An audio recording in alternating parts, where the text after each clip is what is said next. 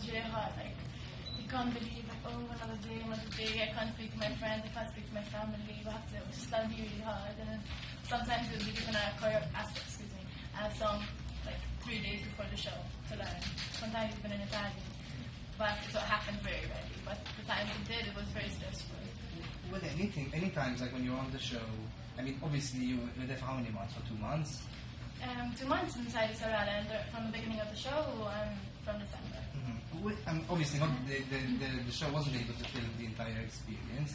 Were there any parts of the show that happened and that stuck, stuck out to you, but that, that weren't filmed and the public doesn't know about? Honestly, I have. I don't know what was filmed and what wasn't yet because I Oh, haven't alright, had yeah. time to see everything because we don't have a chance to watch what goes out and you know, that's you know, Yeah. to the public.